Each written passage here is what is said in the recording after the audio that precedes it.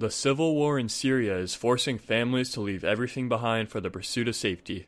As of late February, over 25,000 Syrian refugees have found a home in Canada. The 30 reporters Jason Hussey and Joe Steiner talked to a refugee about his adjustment to Canada. I have been here from one month ago. There is a center YMCA. They helped me for uh, to repair all my paper, uh, the ID and health card, the PR card, and now I got my driving license.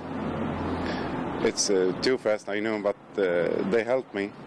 Despite having to learn English, Joseph says his transition was quick and made him feel at home. That's all for one month. It's uh, very good for me, and I feel like I have been here more than one year. I talked to a Project Syria leader, Amanda Anma, about what her organization does and how she feels the refugees are perceived by the public. We have, you know, collected uh, things that, that we know that the Syrian refugees need. A lot of them include, uh, you know, baby items like diapers or baby clothes, um, and certainly things like, you know, like bikes. Many people from Project Syria came to Canada from other countries as well. They have experienced the adjustment period and want to help the families any way they can. All the money that we got together, we, we right away, you know, nonprofit organization. So, of course, all the money went directly to uh, the families.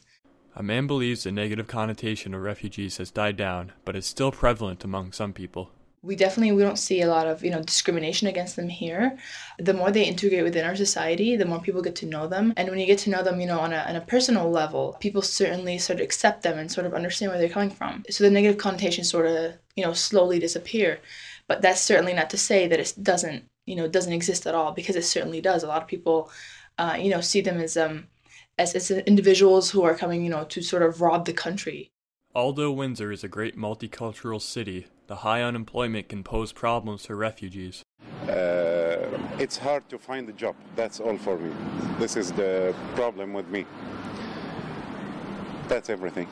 Anma in Project Syria placed priority in fully adjusting refugees to Canada before returning to regular life things like uh, helping the woman sort of integrate into a you know more co-ed society i guess. And basically you know babysitting the children while the families you know the parents do uh, things that are for, uh, for the government or they do their papers or health cards so on and so forth. Uh, you know there are more syrian refugees coming in and uh, and hopefully that the, the new ones will get just exact same treatment that the you know the older refugees got. Canada has also welcomed a large amount of hungarian muslim and vietnamese refugees over the last 60 years we hope to see a smooth transition for all families. I'm Matthew Budinsky of 30.ca.